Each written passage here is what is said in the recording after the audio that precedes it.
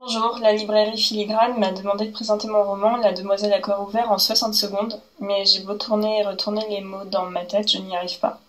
Donc comme il ne me reste que 35 secondes, je préfère vous passer la chanson préférée de mon héroïne, Louise, qui ne comprenait rien aux paroles.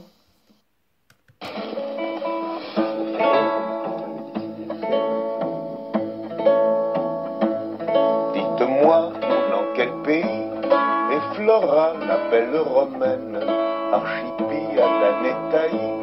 qui fut sa cousine germaine, et qu'au parlant qu'embrouillon mène, le sur rivière ou sur étang, qui beauté eut trop plus qu'humaine, mais où sont les neiges d'antan Qui beauté eut trop plus qu'humaine, mais où sont les neiges d'antan